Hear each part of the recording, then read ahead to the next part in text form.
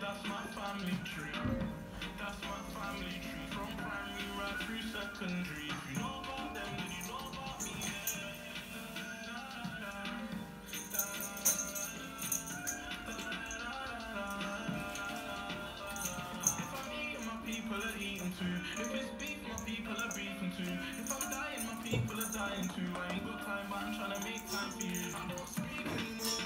Thank you.